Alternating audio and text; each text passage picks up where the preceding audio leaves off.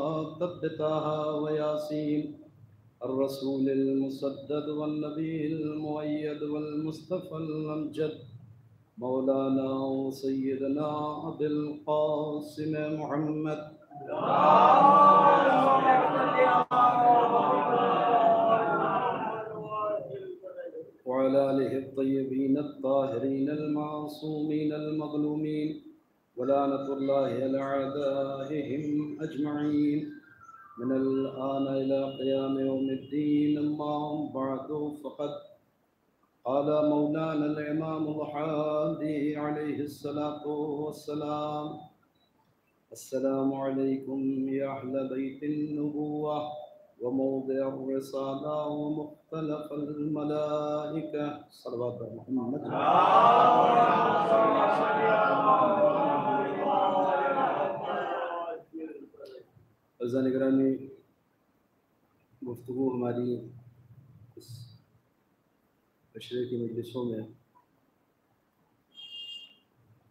मारफत पर हो रही है और असल जो मौजू है वो मारफत इमाम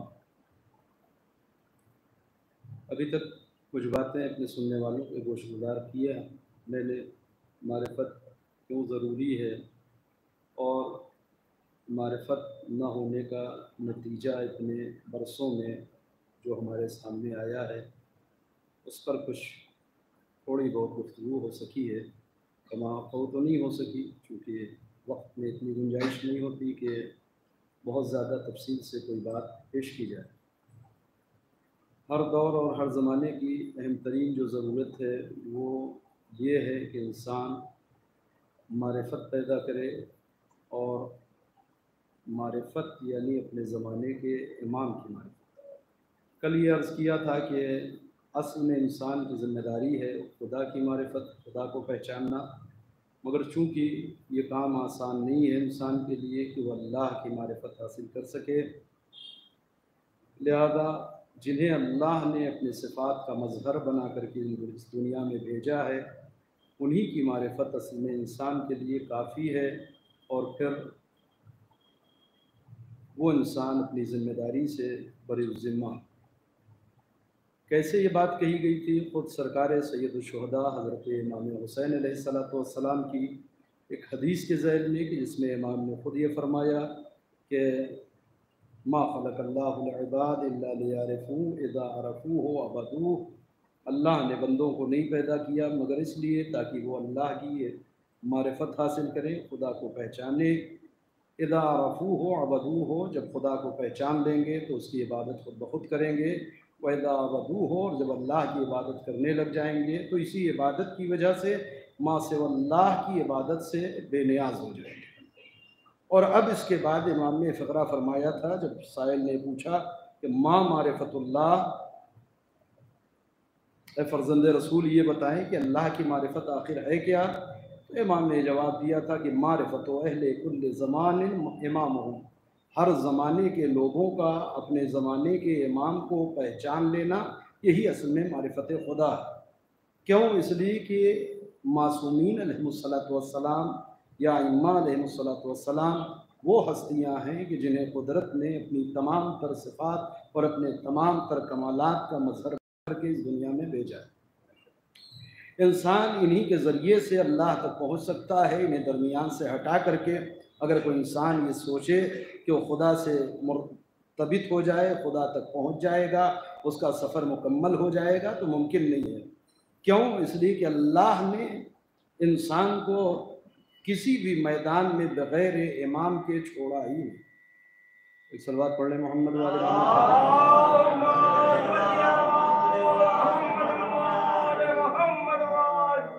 किसी भी मंजिल पे खालिक कायनात ने इंसान को बग़ैर इमाम के नहीं छोड़ा है। चुनानचे उसने दो रास्ते अगर बनाए हैं तो दोनों रास्तों के लिए इमाम भी बनाया है। दो रास्ते कौन से? एक हक का रास्ता, एक बातिल का रास्ता। ये सलवात और पढ़ लें मोहम्मद वाले।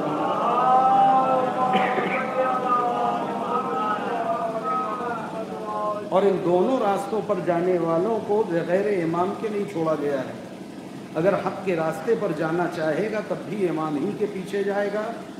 और अगर बातिल के रास्ते पे जाना चाहेगा, तब भी इमाम ही के पीछे जाएगा। और ये दोनों वो इमाम हैं कि जिनके बनाने की नस्बत खाली के कायनात में अपनी जानब दी है। दोनों रास्ते उसने कहा, मैं इन्ना हदई ना सभी। इम्मा शाकिर अम्मा कपूरा दोनों रास्तों की हिदायत हमी ने की है। चाहे शुक्र के रास्ते पे जाओ और चाहे कुफ्र के रास्ते पर जाओ, यानी हक के रास्ते पे रहो या बातिल के रास्ते पर रहो, जन्नत के रास्ते पे रहो, जहन्नम के रास्ते पर रहो, जो चाहें आप इन दोनों लफ्ज़ों का तर्जमा करने सब एक ही है। हमने कर दिया है, अपनी ज़िम्मेदारी पूरी कर दी है। तुम जिस रास्ते पर चलना चाहो, अपनी मर्ज़ी से उस रास्ते पर चल सकते हो। तवज्जो करें। हमने किसी इंसान में सलाहियत दी ही नहीं कि वो ज़बरदस्ती अगर जिस रास्ते पर तुम जाना नहीं चाहते, कोई ज़बरदस्ती तुम्हें उस रास्ते पे चला नहीं सकता। और इन दोनों रास्तों पर तुम्हें ले जाने वाले इमाम हम ही देंगे। चुनानचे उसने यही लफ्ज़ दोनों मकाम के लिए इस्तेमाल किया, इन्ना जालना हम आइमत यह दूना बेअमरना। हमने कुछ लोगों को इमाम बनाया है कि जो हमारे अम्र से लोगों की हिदायत करते हैं। तवज्जो करिए। तो मैं अर्ज़ी कर रहा था कि किसी मकाम पर खाली के कायनात में इंसान को बग़ैर इमाम के नहीं छोड़ा। तो ये तो हक़ के रास्ते के इमाम हैं कि जो अल्लाह के अम्र से लोगों की हिदायत करते हैं और उन्हें सीधे रास्ते पर कायम रखते हैं। दूसरा रास्ता जहन्नम का रास्ता है। ये रास्ता भी ऐसा है कि जिस पर चलने वाले बग़ैर इमाम के नहीं होंगे। चुनाचे वो कहता है वजालना हम इन लोगों को भी हम ही ने इमाम बनाया है, जो लोगों को ले करके जहन्नम की तरफ़ जा रहे हैं। देख लिया आपने, दोनों रास्तों पर इमाम है। इंसान को खालिक कायनात इमाम ही के पीछे देखना चाहता है। और अगर हर तरह के इमाम न होते तो फिर आयत कुरान में न होती। यौमा इमाम ही हम रोद महशर हर इंसान को, क़यामत के दिन हर इंसान को उसके इमाम के साथ बुलाएँ। यानी हर राह पर इमाम होगा, हर रास्ते का इमाम होगा। इंसान को खुद अख्तियार है कि किसके पीछे चले। बहुत तवज्जो करिएगा। यहाँ तक की गुफ्तु के बाद जो बात मैं अर्ज़ करना चाह रहा हूँ वो ये कि जा बजा आपको जिस रास्ते पर भी आप आगे बढ़ेंगे, आपको इमाम मिलेगा। ज़िम्मेदारी ये है कि अब ऐसे में कि जब इमाम मौजूद हैं, ले जाने वाले लोग मौजूद हैं, हिदायत करने वाले मौजूद हैं, अभी मसला ये नहीं है कौ का। अभी मसला ये नहीं है सही और गलत का। जब हर राह पर इमाम है और वो दावत देंगे, बुलाएँगे। तो अब ऐसे में इंसान की ज़िम्मेदारी ये है कि अपने ज़माने के हकीकी इमाम को पहचाने। तो करिएगा। अब अगर इंसान अपने सही इमाम की शनाख्त नहीं रखता है और अपने ज़माने के इमाम को नहीं पहचानता है तो यकीनन धोखा उठाएगा, किसी जहन्नम के रास्ते पर ले जाने वाले इमाम के पीछे बहरहाल जाएगा। एक सलवात पढ़े, मोहम्मद वाले मोहम्मद पर।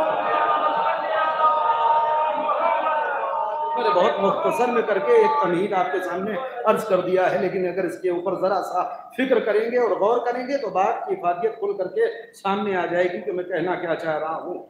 ये तय है कि जिस रास्ते पर भी कदम उठाओगे, उस पर तुम्हें इमाम मिलेगा, ले जाने वाला मिलेगा, तवज्जो करिएगा। अब ऐसे में अगर शिनाख्त नहीं है तो इंसान धोखा उठाएगा, गुमराह हो जाएगा। वो जिसे अपना इमाम मान लेगा, हो सकता है कि वो बजाय हिदायत करने के, जन्नत की तरफ़ ले जाने के, वो जहन्नम की तरफ़ ले जाने वाला इमाम हो। लिहाजा कल ये बात मैंने अर्ज़ किया था कि जब मारिफत इमाम का लफ्ज बोला जाए कि इमाम को पहचाने, इमाम को पहचाने, इमाम को पहचाने तो इससे मुराद तनहा यह नहीं है कि ज़ात इमाम को पहचान लें। कि दस लोग खड़े हैं, इनमें से ये इमाम है। ये पाँच लोग किसी जगह पर हैं इनमें से इन पाँचों में से ये चार इमाम नहीं है ये इमाम है। ये है ज़ात इमाम की शनाख्त यह है इमाम को जातन पहचानना कि फला इब्ने फला हमारे इमाम है। ये एक मरहले मारिफत है और ये कम तरीन दर्जे मारिफत है, ये भी मारिफत। तवज्जो करिएगा। इससे ऊपर उठ करके जो दूसरा हिस्सा है मारिफत का वो ये है कि इंसान सिर्फ़ जातन इमाम को न पहचानता हो, बल्कि सिफात और कमालात के एतबार से भी इमाम को पहचाना सलवात और पढ़े मोहम्मद वाले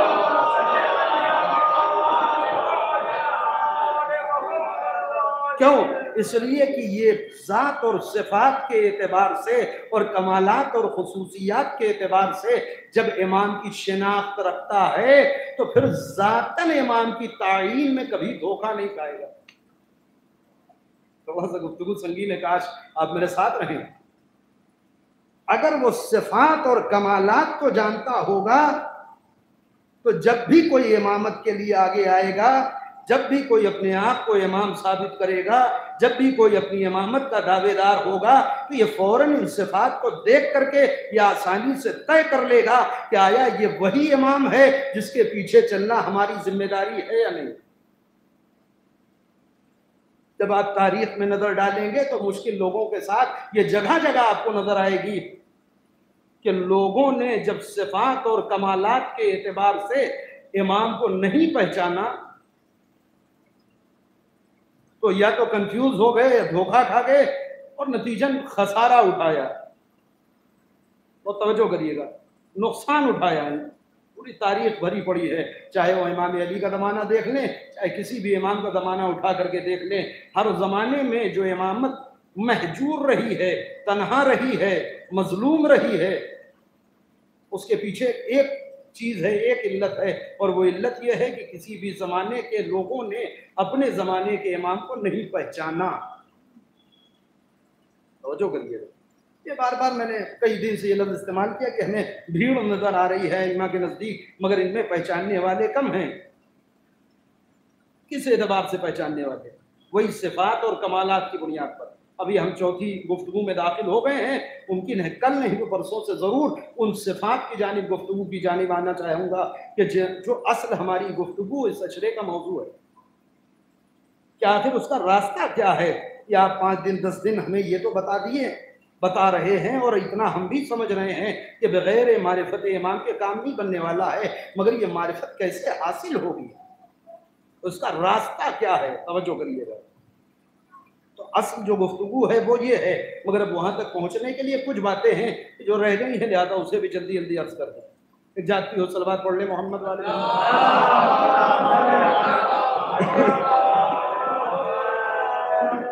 चुनाचे आप तारीख में जब नज़र उठा करके देखेंगे तो आपको ये मिलेगा, दर जानी मुतवजह रहिएगा। आपको ये मिलेगा कि वो लोग की जो आइम्मा के इर्द गिर्द नज़र आ रहे हैं और उन्हें इमाम मान रहे हैं बदाहिर। लेकिन चूँकि सिफात व खसूसियात व कमालात इमाम से नाआगा थे, यही वजह बनी कि कदम कदम पे उन्होंने ठोकर खाई है और नुकसान उठाया है। और मैं जल्दी जल्दी आपके सामने एक दो मिसालें रख दूँ। आप देखें कि इमाम अली सलाम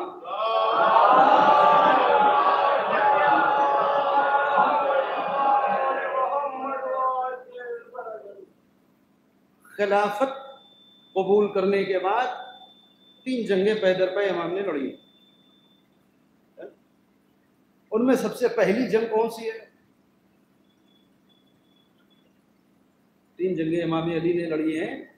खिलाफत मिलने के बाद सबसे पहली जंग जंग जमल है। तारीख, तवज्जो करें।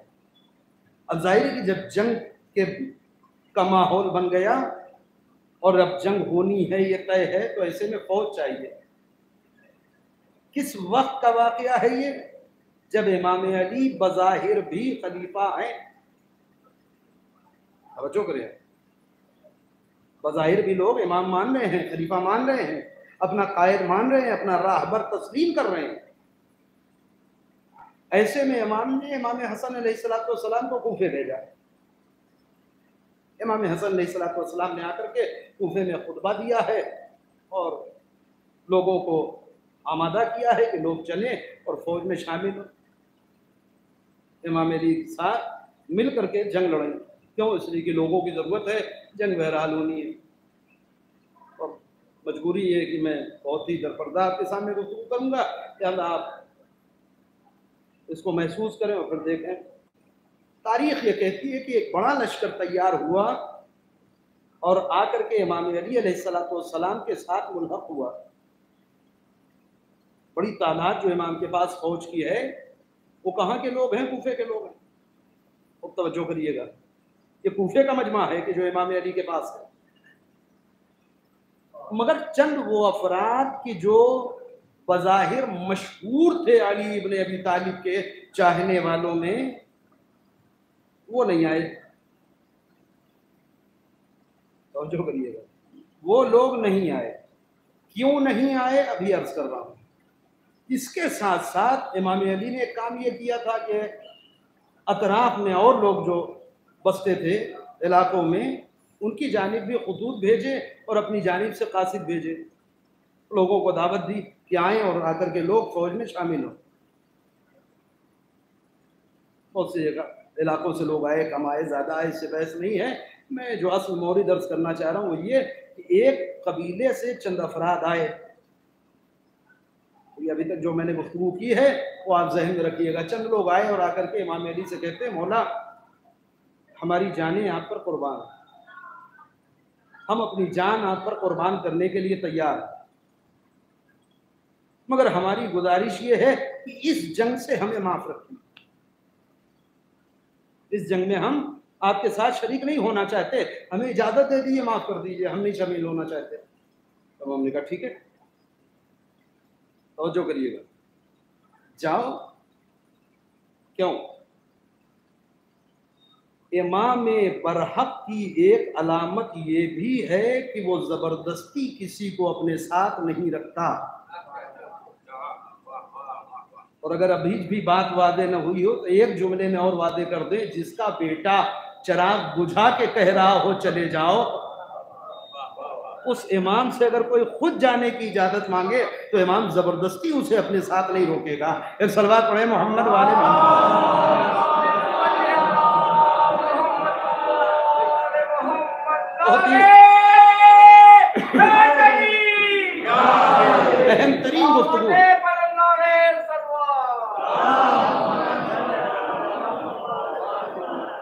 क्यों जंग से माफ़ रखें आखिर। जब आप जानसार हैं, आप जान देने पे तैयार हैं, आप इमाम समझ रहे हैं, ये सब कुछ है। तो इस जंग से क्या मतलब है? अगर जान हथेली पे है और इमामत के कायल हैं, खलीफा अपना मानते हैं, आप कायद अपना मानते हैं, और रहनुमा अपना तस्लीम करते हैं तो फिर ये कौन सी बात हुई कि इस मैदान में जंग नहीं लड़ेंगे उस मैदान में जंग लड़ेंगे? तो करिएगा। ये इमामत की एक मुश्किल रही है कि जो अक्सर आइमा के साथ रही है इमाम ने कहा, ठीक है, चले जाओ, इससे बहस नहीं है। मगर एक बात तो बताते जाओ, और बात यही है कि इस जंग में क्या मुश्किल है? इस जंग में कोई खराबी है? क्यों नहीं आना चाहते कासिम ने जब से आपका दावतनामा पहुँचा है और लेटर आया है, मेरे कबीले में इसी पे बहस चल रही है कि हमें इस जंग में शरीक होना चाहिए या नहीं होना चाहिए। क्यों? का इसलिए कि जब हम लोग नज़र उठा करके देखते हैं इन दोनों फौजों में तो कहीं कोई फ़र्क नज़र नहीं आता। यानी दो फौजें जो आमने सामने हैं, इनमें आपस में कहीं कोई फ़र्क नज़र नहीं आता। इधर भी कलमा ही पढ़ने वाले हैं, उधर भी कलमा पढ़ने वाले हैं। इधर भी असाब पैगंबर हैं, उधर भी असाब पैगंबर हैं। तवज्जो करें, ये तारीख के हकायक हैं। इधर भी असाब पैगंबर हैं, उधर भी असाब पैगंबर हैं। इधर भी कारियान कुरान है, उधर भी कारियान कुरान है। इधर भी हाफिजान कुरान है, उधर भी हाफिजान कुरान है। तवज्जो करें। हम ये फैसला ही नहीं कर पा रहे हैं कि हम किस फौज का हिस्सा बन करके किस फौज से लड़ें। आया इस फौज का हिस्सा बन करके इससे लड़ें, या इस फौज का हिस्सा बन करके उससे लड़ें? लिहाजा बहुत सोचने के बाद जब बात समझ में नहीं आई तो हमने ये सोचा कि ना हम इधर शामिल होते हैं, ना हम उधर शामिल होते हैं। तवज्जो करिएगा। ये मुश्किल हर जमाने में और हर इलाके में और हर जगह लोगों के साथ रहती है कि आसानी से हक समझ में नहीं आता। और ऐसे में इंसान अपने आप को तीसरी जानब रखना चाहता है कि न हम इधर हैं, ना उधर हैं, ना इनकी जानब है, ना उनकी जानब है। वो समझता है हम किसी तीसरी तरफ़ हैं। जी नहीं, अगर हक की तरफ़ नहीं है तो चाहे जहाँ हो, वो उसमें बातिल ही की तरफ़ है। सलवा पढ़िए मोहम्मद वाले मोहम्मद। और ये जुमला इमाम का दूसरे मकाम पर आपको मिलेगा। अब मैं बहुत चूँकि तेज़ी से गुजर रहा हूँ, लिहाजा वो सारी मिसालें आपके सामने अब नहीं कर सकता। ये फिक्रा भी इमाम ही का है दूसरे मौके पर कि जहाँ इमाम ने फरमाया है कि हालाँकि तुमने बातिल का साथ नहीं दिया, मगर हक को कमज़ोर किया। तवज्जो करिएगा। तो जो ये समझता है कि हम किसी तीसरी तरफ़ हैं, वो असल में तीसरी जानब नहीं होता, वो असल में किसी न किसी तरीके से बातिल ही की ताकत बनता है। और तवज्जो कर लें अब का ये फैसला नहीं कर पा रहे हैं कि किधर से शामिल हो, किस फौज का हिस्सा बने और किससे जंग लड़े। लिहाजा हम ये चाहते हैं कि हम न इधर शामिल हो, ना उधर शामिल हो। क्यों? जब नज़र उठाते हैं तो सारी शख्सियतें एक जैसी नज़र आती है। बहुत तवज्जो करिएगा। कहीं से कोई फ़र्क नहीं नज़र आ रहा है। इमाम ने कहा, ठीक है, जाना चाहो तो जाओ। मगर एक उसूल दे करके इमाम ने रुख्सत किया, और ये बेहतरीन उसूल है जो सुबह कयामत तक काम करेगा और हर इंसान के लिए है। तवज्जो करिएगा। इमाम ने फरमाया, इसमें तुम्हारी मुश्किल ये हो गई है कि तुम हक को लोगों के ज़रिए से पहचानना चाह रहे हो। तवज्जो करिएगा। तुम हक को लोगों के अमल से पहचानना चाह रहे हो। यानी तुमने पहले शख्सियतों को अपने जहन में मुकद्दस बना लिया है और फिर उन्हीं के हर अमल को हक समझ रहे हो। तवज्जो करिएगा। बड़ी अजीब बात है और बड़ी खूबसूरत और लतीफ गुफ्तगु है। तुमने कुछ शख्सियतों को अपनी निगाह में मोहतरम समझ लिया है और फिर उनके उठने वाले हर कदम को हक समझ रहे हो। नहीं, इन्होंने किया है तो हक है, इन्होंने किया है तो सही है, इन्होंने कहा है तो सही है। तो करिएगा। और यही गड़बड़ कर रहे थे। जब एक ही जैसी दो शख्सियतें सामने आ गई तो अब कंफ्यूज हो गए कि हक इधर है या उधर है। लिहाजा करना क्या है तुम्हें? इमाम फरमाते रफिल हक, तारफ आहला असल में तुम्हारी ज़िम्मेदारी यह है कि पहले हक को पहचान लो। जब हक पकड़ में आ जाए तो शख्सियतों को हक पे परखो। जो जिसका किरदार हक से मिलता चला जाए, उसे अपना कायद और इमाम तस्लीम करो। सलवार पढ़े मोहम्मद वाले मोहम्मद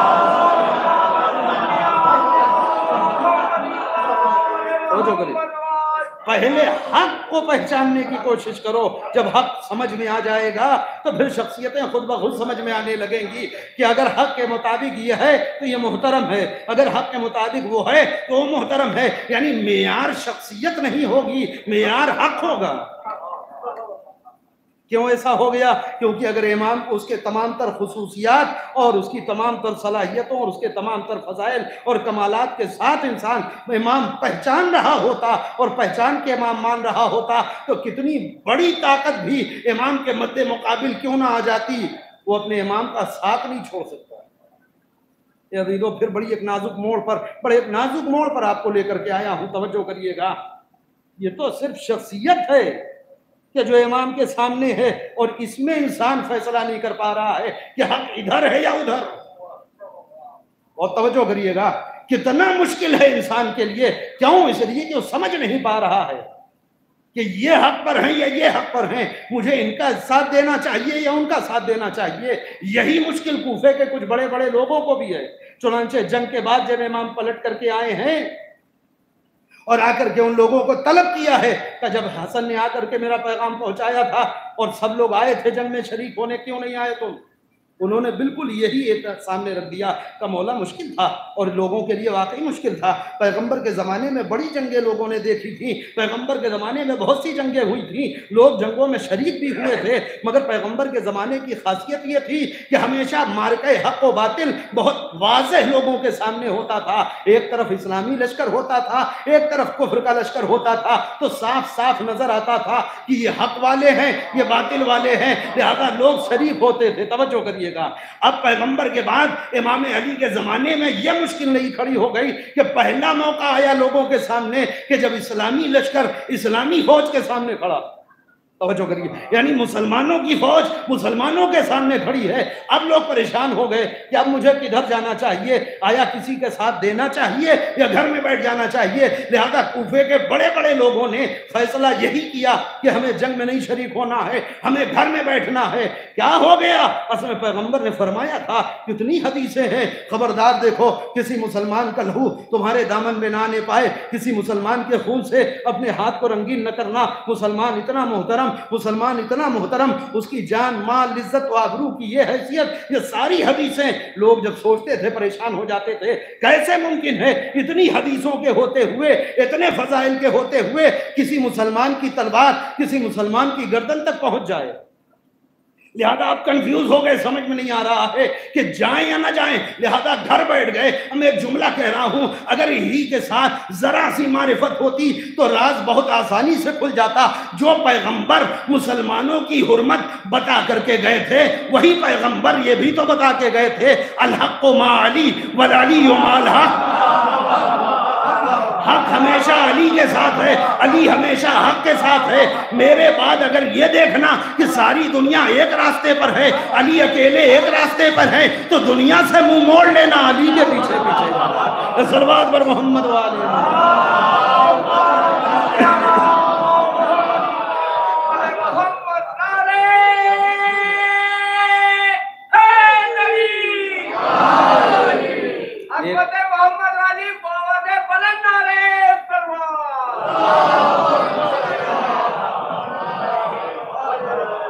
मुश्किल हर जमाने में आती है और ऐसा नहीं है कि यह हैद अमीरुल मोमिनीन की बात थी और खत्म हो गई, जमाना गुजर गया। नहीं, किसी न किसी सूरत में ये रोज़ाना हमारे सामने है। अब अगर मैं रुक जाऊँ तो बात यहीं पे खत्म हो जाएगी, मगर सिर्फ़ इशारा करके आगे बढ़ जाऊँ, कितनी मुश्किल है। है मुश्किल या नहीं है? है मुश्किल या नहीं है? अरे, ये भी मौलाना साहब हैं, वो भी मौलाना साहब ये ये बता रहे हैं, वो ये बता रहे हैं, कुछ समझी नहीं आ रहा। इन्होंने ये पढ़ दिया, उन्होंने ये पढ़ दिया, कुछ समझी नहीं आ रहा है। ये भी जाकिर है, वो भी जाकिर है, कुछ समझी नहीं आ रहा है। देखिए सब सारी सिफतें मिल रही हैं, है ना? ये भी यहाँ से पढ़ के आए हैं, वो भी वहाँ से पढ़ के आए हैं। मजमा बेचारा कंफ्यूज उसके हक नहीं समझ में आ रहा है। क्यों? मुश्किल कहाँ है? क्योंकि वो शख्सियतों से हक ले रहा है। प्रॉब्लम की जड़ यहाँ है कि वो शख्सियतों से हक ले रहा है कि जो भी मेंबर पे आके कुछ बोल दे, वो हक ही होगा, जी नहीं। ये उसूल नहीं है।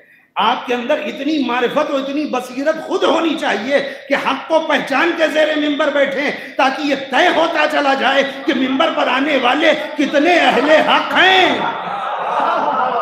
सलवार पर मोहम्मद वाले मोहम्मद।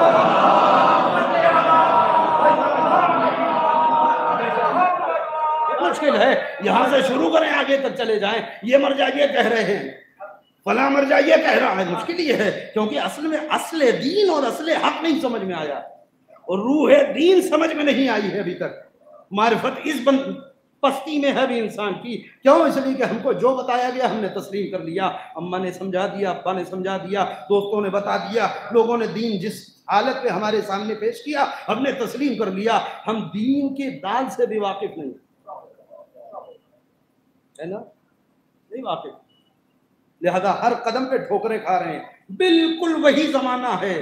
जो समझ में नहीं आ रहा है हक ये है या हक वो है। सही ये है या सही वो है। क्यों? इसलिए कि असले दीन को आप नहीं समझे। जाती हो सलवार पढ़ लें। मोहम्मद वाले मोहम्मद।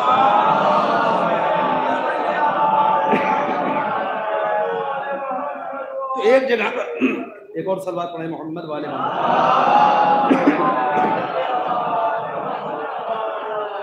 एक जगह पर मैंने आपको जरा सा रोका था और आगे बढ़ गया पलटता हूँ जब सिर्फ़ शख्सियतें सामने आई तो लोग कंफ्यूज हैं। जबकि वो एक इंसान है हम इंसान है। तो मुसलमान कितना भी मोहतरम क्यों ना हो जाए इंसानी तो है। कितना बड़ा भी कलमा पढ़ने वाला हो कितनी भी नमाजें पढ़ने वाला हो एक इंसान है। और जब एक इंसान इमाम के सामने आकर के खड़ा हो गया तो आप कंफ्यूज हो गए कि ये भी मुसलमान, वो भी मुसलमान, ये भी साहिब कुरान, वो भी साहिब कुरान हो ये भी नमाज़ शब पढ़ने वाले, वो भी नमाज़ शब पढ़ने वाले। अब समझ में नहीं आ रहा हम किधर है। लिहाजा हम न इधर है ना उधर है, जी नहीं। ये चलेगा ही नहीं कि ना आप इधर है ना उधर। तवज्जो करिएगा। इस बात की इजाज़त ही नहीं है कि आप किसी तीसरे रास्ते पे निकल जाएँ। असल में तीसरा रास्ता होता ही नहीं। ये इंसान की गलत फहमी है कि वो समझता है कोई तीसरा रास्ता नहीं होता। या खैर का रास्ता है या तीसरी कोई किस्म नहीं है। कल की गुफ्तु अगर आपके जहन में है। तीसरा कोई रास्ता ही नहीं बचता है इंसान के सामने। वो ये समझता है कि हम किसी और रास्ते पे जा रहे हैं। जी, ऐसा नहीं हो सकता। तवज्जो। तो जब एक इंसान इंसान के सामने आ गया और इंसान हक को पहचानने में इतना कंफ्यूज है तो आप समझिए, ये पहली जंग का मरहला था। इसके बाद फिर एक दूसरी जंग आ रही है इमाम अली के पास। इसमें फिर यही मुश्किल हो गई कि बड़ी तादाद इमाम के इर्द गिर्द हमें नज़र आ रही है कि जो इमाम मान करके आए हैं, जो अपना कायद तस्लीम करके आए हैं, जो अपना राहबर और लीडर तस्लीम करके मैदान जंग में हैं और गला कटाने को तैयार हैं, वाकई तैयार है। इस हद तक मगर चूँकि सिर्फ़ जातन इमाम को पहचान रहे हैं, हमारा इमाम को नहीं है बस।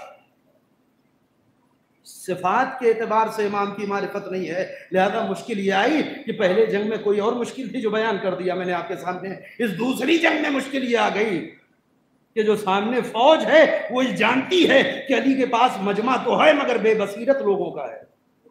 भीड़ तो है, मगर बगैर इमाम को पहचानने वाली भीड़ है। इनमें से ज़्यादातर लोग अपने इमाम को सही पहचानते नहीं हैं। लिहाजा जब वो फौज हारने लगी तो उसने बड़ी आसानी से धोखे में मुबतला कर दिया। उसने कुछ कुरान मजीद के नुस्खों को नौके नेजा पे बुलंद कर दिया। अब देखें, एक जानिब इमाम है, एक जानिब कुरान है।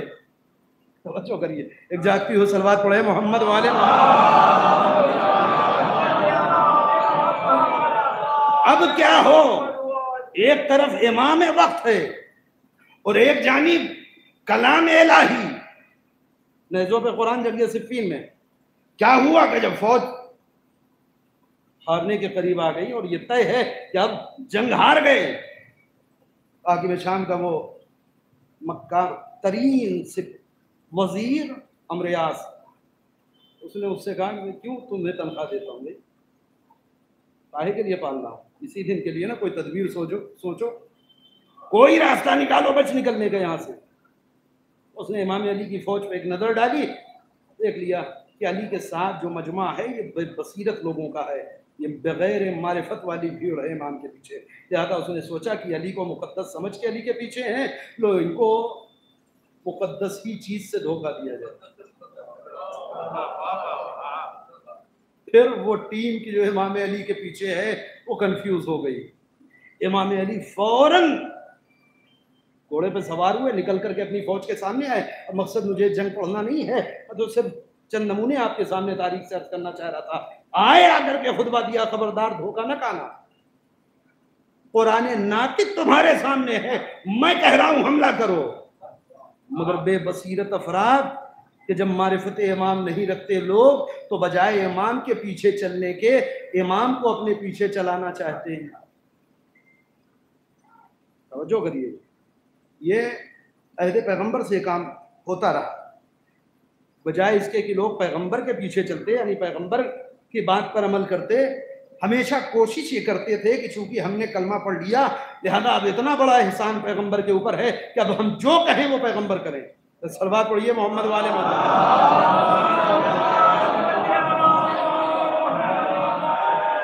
जी, ये कोई जबानी जमा खर्च आपके सामने थोड़ी ना कर रहा हूँ। कुरान मजीद की आयतें उठा करके देख लें, भरी पड़ी है। मसन एक आयत का सरनामा आपके सामने अर्ज़ करते हैं। कुरान मुसलमानों को होशियार कर रहा है।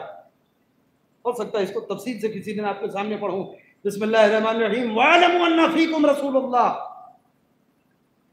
ये मुसलमानों, ये बात जान लो कि ये जो तुम्हारे दरमियान है, ये अल्लाह का रसूल है।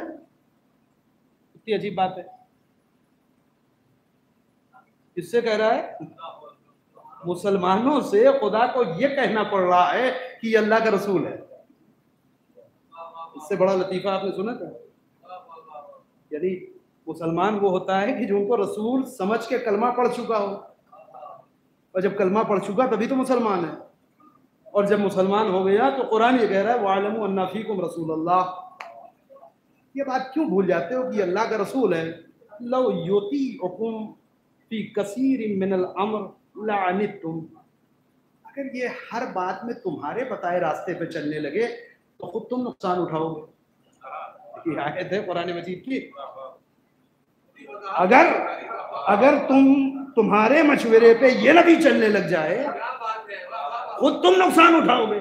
इसका कोई नहीं बिगड़ेगा। ये जुमला बता रहा है कि हर आदमी आने वाला, वो चाहता था पैगंबर को कोई ना कोई मशवरा दे दे।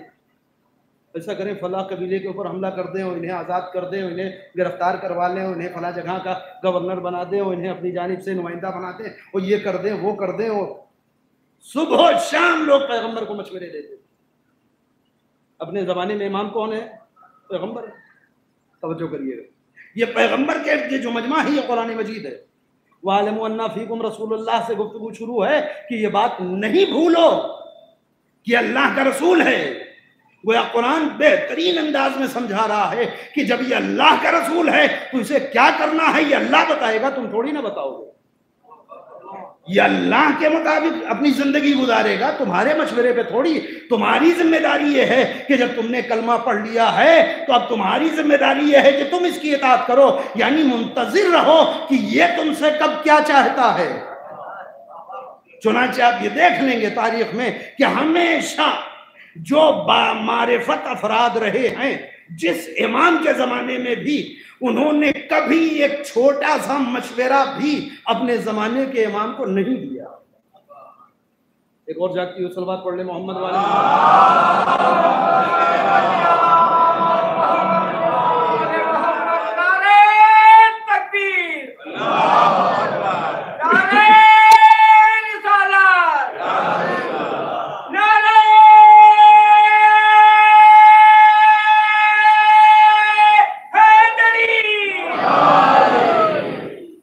सलवार पढ़ मोहम्मद वाले।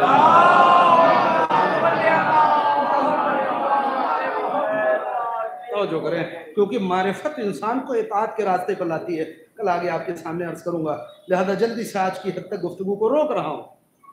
कभी आप किसी इमाम के ज़माने में जो मखसूस लोग रहे हैं बा मारिफत उनकी तारीख उठा करके देख लीजिए, वो हमेशा मुंतजर रहे हैं। और जिस हद तक ये मारिफत बढ़ती गई है, उतना ही इतात बढ़ती चली गई। जो करिएगा। बहुत एक नाजुक से मोड़ तक आपको लाया हूँ और मैं खुद मुतमिन नहीं हूँ कि मैं सारे लोगों तक बात को पहुँचा पाऊँगा या नहीं, क्योंकि वजाहत का वक्त नहीं है। लेकिन अगर आप मुतवजे हैं तो शायद इस नाजुक सी बात को महसूस कर लें। इस हद तक इंसान जितनी मारिफत बढ़ती है, अपने जमाने के इमाम का मोती होता है कि न इसके अपने जज्बात रह जाते हैं, न इसकी अपनी ख्वाहिशात रह जाती हैं, न अपनी इसकी कोई मर्ज़ी रह जाती है, कुछ नहीं। बिल्कुल वही अंदाज कि जैसे अहले बैत का अंदाज खुदा के लिए। आइए मेरे साथ, तवज्जो करिए। जैसे अहले बैत की कैफियत खुदा के साथ है कि न उनकी जाति कोई ख्वाहिश है। न उनकी जाति कोई मर्ज़ी है। और अच्छा ये नहीं कह रहे हैं कि हम ऐसे हैं। वरना हम समझे कि बड़ी बात है कुरान कह रहा है कि ये ऐसे हैं। वो कह रहा है कि ऐसे हैं। वमा तशाऊना यशा अल्लाह। ये ऐसे हैं कि कुछ चाहते ही नहीं सिवाय उसके जो खुदा चाहता है। सुना है ना ये आयत?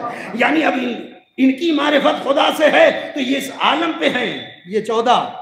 इस मंजिल पर हैं कि न इनकी अपनी कोई ख्वाहिश है, ना इनकी अपनी कोई राय है, ना अपनी कोई मर्ज़ी है, कुछ नहीं। वही चाहते हैं जो खुदा चाहता है। तवज्जो करिएगा। वमा तशाऊना इल्ला इसके अलावा कुछ नहीं चाहते कि जो अल्लाह चाहता है, पता नहीं कि बात पहुंचेगी या नहीं, मगर मैं कह रहा हूँ, तवज्जो करिएगा। ये बात भी तो की जा सकती थी कि ये इसके अलावा कुछ नहीं करते, सिवाय इसके कि जो खुदा चाहे। ये बात यूँ हो सकती थी ना? ये वही करते हैं ज़िंदगी में, हमेशा हर कदम वही उठाते हैं जो खुदा चाहता है। नहीं, ये थोड़ा सा पस्तरीन दर्जा है। लिहाजा अहले बैत की अजमत को कुरान ने और खोला। का हो सकता है इताअत मजबूरी में भी हो सकती है। करिएगा। लिहाजा मसला सिर्फ़ इताअत पे नहीं है, कह रहा नहीं, ये कुछ चाहते ही नहीं सिवाय इसके जो खुदा चाहता है। सोचिएगा इसको। मसला एतात का भी नहीं है एतात तो होती ही है। ख्वाहिश ही कोई और नहीं पैदा होती सिवाय इसके कि जो अल्लाह चाहता है, यानी ख्वाहिश एक हो गई, मर्ज़ी एक हो गई। यह है सिलसिला आले मोहम्मद का, खुदा की मारिफत का नतीजा।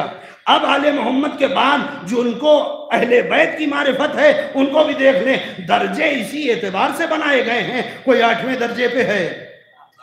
कोई नवे दर्जे पे है, कोई दसवें दर्जे पे है। तारीख ने लिखा कि एक दिन वो भी आया कि जब अमीरुल मोमिनीन के गले में रस्सी डाल करके कुछ लोग लेकर के घर से चले मस्जिद की तरफ़। बहुत सारे असहाब देख रहे हैं इस मंजर को। अबू जर जैसा सहाबी। कुछ वो थे जिन पे कोई असर नहीं हुआ कुछ वो थे बहुत ज़्यादा गुस्से में। जनाब अबू जर। अच्छा कौन आदमी बर्दाश्त करेगा इसको? नवे दर्जे पे हैं। तो कोई मामूली इंसान की मिसाल नहीं दे रहा हूँ। नवे दर्जे पर जो बकौल पैगंबर ईमान के नौ दर्जे तय कर चुका है, उसकी कैफियत यह है कि हाथ कब्जे शमशीर पे जाता है। माथे पे सिलवटे हैं, गुस्से से लब हिल रहे हैं। अमीरुल मोमनी के गले में फंदा। तवज्जो करिए। और कुछ लोग लेकर के मस्जिद की जानिब जा रहे हैं। ऐसे में सबसे बड़ा ताज्जुब अबूजर को जो हुआ वो क्या? कि सलमान पुरसकून तवज्जो करिएगा। सलमान मुतमईन है। भूल गए सब कुछ। सलमान को देख इतने मुतमईन तुम। देख नहीं रहे हो मौला के साथ क्या हो रहा है। सलमान ने इशारा किया कि तुम अपनी मर्ज़ी पे चल रहे हो मौला का चेहरा नहीं देख रहे हो। तवज्जो करिएगा। मौला का चेहरा देखो ये चेहरा हमें बताएगा कि हमारी ज़िम्मेदारी क्या है। और तवज्जो करिएगा। ये मारिफत की कमी है कि इंसान इंतज़ार करे कि इमाम कुछ कहे तो हम करें। मारिफत जब कमाल पे पहुँचती है तो कहने का इंतज़ार नहीं करता। खुद चेहरे से दिल की कैफियत समझ लेता है कि इमाम कब क्या चाहते हैं। बहुत तवज्जो करिएगा। और ये कौन है? ये दसवें दर्जे का ईमान है। अबूजर परेशान है, सलमान मुतमईन है। सिर्फ़ एक दर्जे का फ़र्क हो गया तो नतीजा ये सामने आ गया, अजीजो। सलवा पढ़े मोहम्मद वाले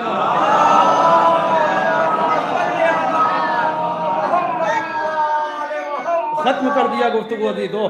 चुनाचे, आप देख लें, मैंने एक जुमला कहा था और उसी से घूम करके बात यहाँ तक आई कि जिसकी जितनी मारिफत बढ़ती गई, उसने कभी अपने ज़माने के इमाम को कोई मशवरा नहीं दिया। बहुत से लोग आपको मिलेंगे, राह करबला में, जिन्होंने सईद को मशवरे दिए। मक्के में मशवरा दिया मदीने में मशवरा दिया मक्के से निकले तो रास्ते में मशवरा दिया। वो सारे मशवरे मौजूद है तारीख में किसने क्या मशवरा दिया?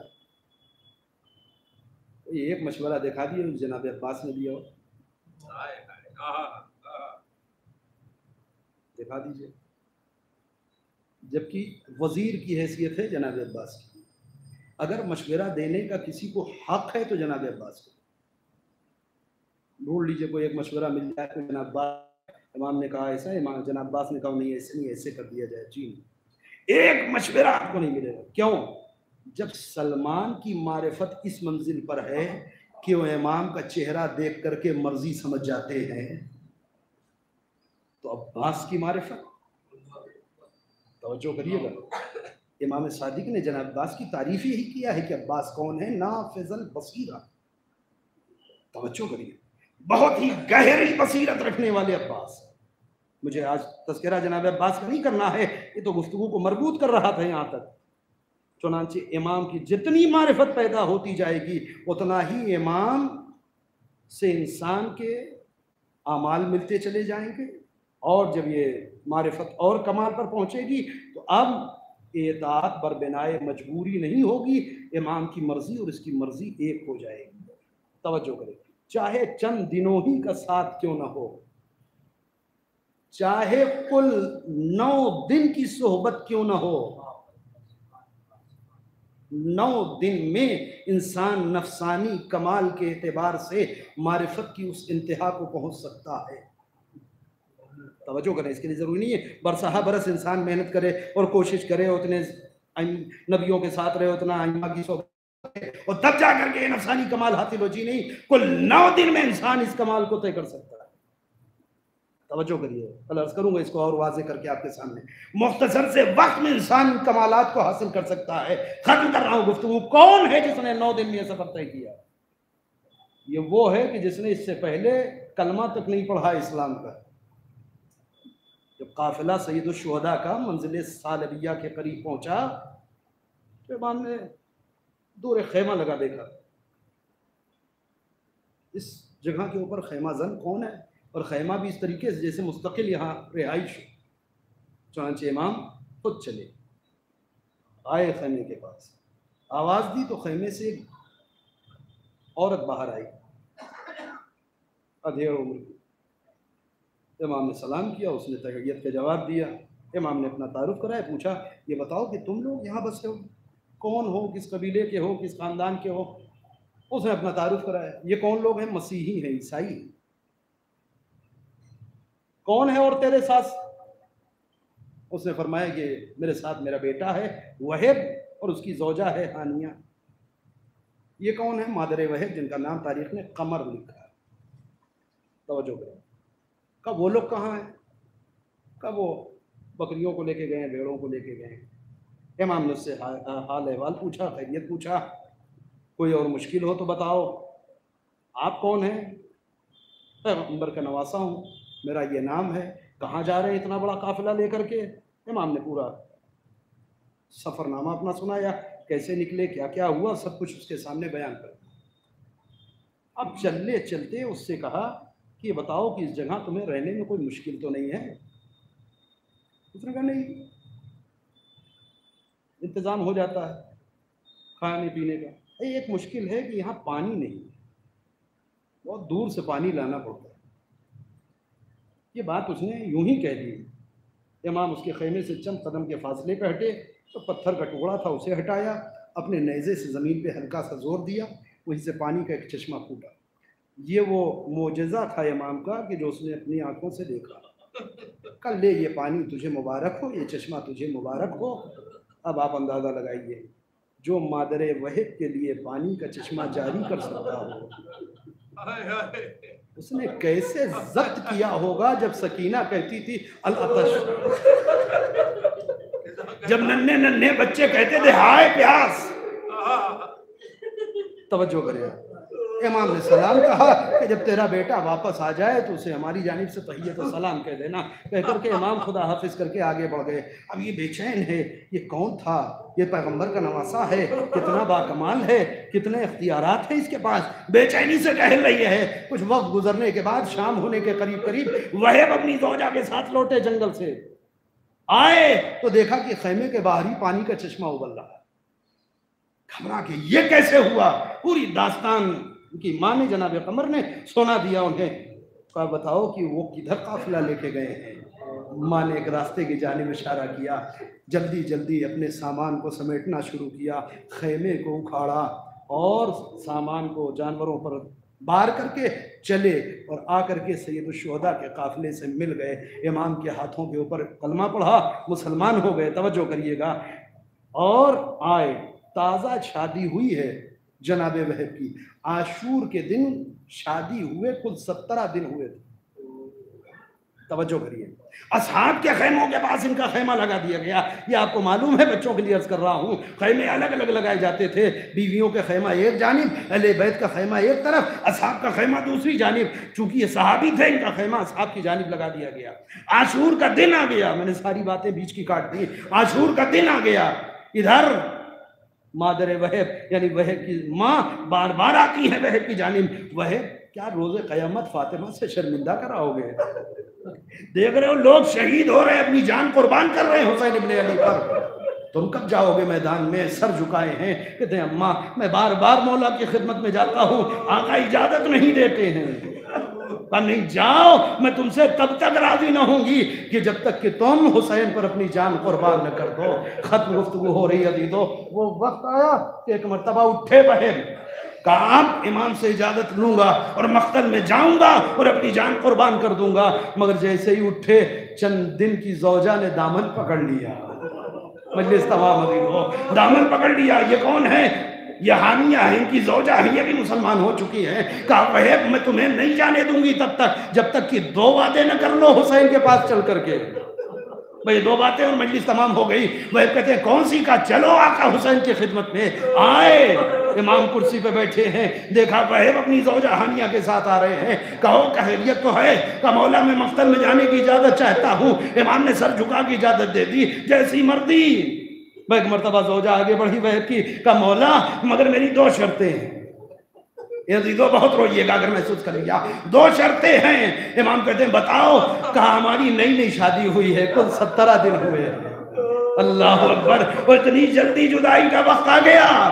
अभी ये शहीद होंगे, बहिश्त में चले जाएँगे। आका, आप ये वादा करें कि ये तब तक जन्नत में न जाएँगे, जब तक मुझे साथ न ले लें अब इसकी तोजी न करिएगा, ये ताज़ा मुसलमान है। मौला, तब तक ये जन्नत में न जाए, जब तक कि मैं ना आ जाऊँ। इमाम ने सर झुका लिया का ठीक है, दूसरी ख्वाहिश का इनकी शहादत के बाद मैं खैमे में तनहा हो जाऊँगी। और मैंने ये सुना है कि यहाँ तरीका ये है कि शहादत के बाद मर्दों के औरतों को असीर बनाते हैं। मेरी गुजारिश ये है कि जब वह शहीद हो जाए तो मुझे इजाज़त दी जाए कि मैं जैनब में कुलसूम के खैमे में आऊँ कनीज बन के रहूँ। क्यों ये बात कह रही है? वो ये समझ रही है कि जैनब तो नबी जाती है जैनब तो अली की बेटी है। अरे मुझे असीर बनाया जाएगा, मगर कोई नज़र उठा के जैनब की तरफ़ न देखेगा। मुझे नहीं मालूम ये जुमला सुन के हुसैन के दिल पे क्या गुजर गई। अजब नहीं कहा हो, ए हानिया, अरे तू ये समझती है कि लोग जैनब का एहतराम करेंगे। नहीं मेरी शहादत के बाद, यही जैनब राहे शाम में बेमकनो चादर असीर करके फिराई जाएगी। मनादी निदा देगा, जिसे तमाशा देखना।